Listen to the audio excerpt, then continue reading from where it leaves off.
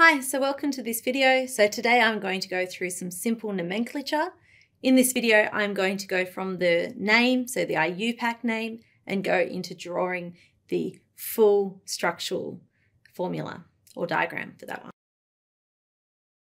So the first one I want to start with is 234 trimethylhexane. So if we pull this apart, we know that our backbone is hex.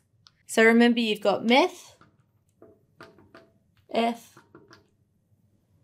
prop, but, pent, hex, hept, oct, non, and dec. Now this is uh, the number of carbon, that's one, two, three, four, five, six, seven, eight, nine, ten.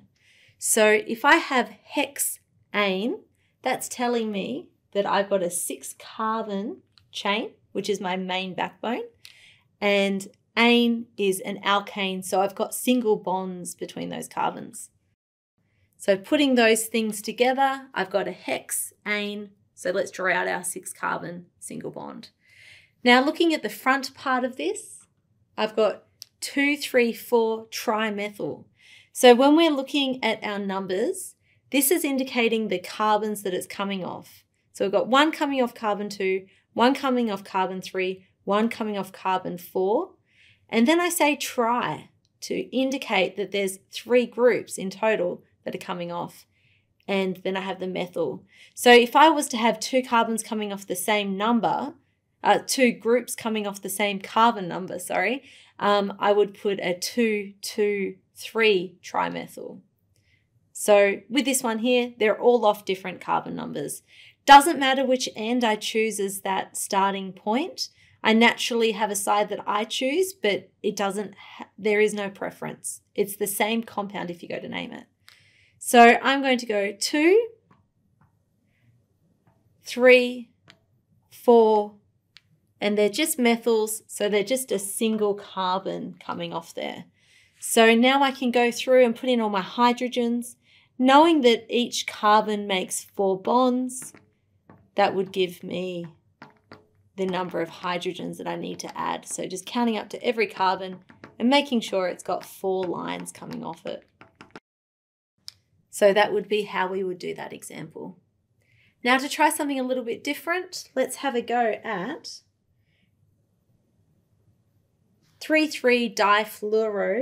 3,3-difluorobutene. So we've got 3, 3, difluorobutene. So now you can see we've got an ene, so that's a, a double bond. An ane was a, a single bond. Bute, what's our number of carbons?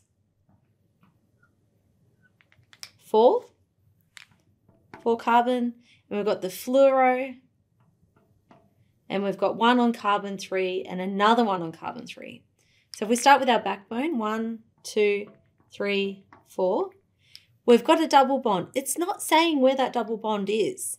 So if it doesn't say, it's between carbons one and two. If it's not between carbons one and two, then it will indicate the number of it. So if it's between three and four, it's not the, not with this example, but if it was, um, on a longer chain between three and four, then you would have to say the lowest out of those two numbers. So you would say but 3-ene, or you can have the three out the front so it says 3-butene. So if we look at this one here, we've got four carbons, we've got our double bonds. So that's good for our skeleton at the moment. And then we've also got to put in 3,3-difluoro. So when I put this double bond in, I've labeled this carbon as one. So this is two, and then this one here would be three, and I've got two fluorines. So now I can go through and make four bonds to each carbon by adding in my hydrogens. So I've got two here, so I need two more. I've got two and one, so I only need one more.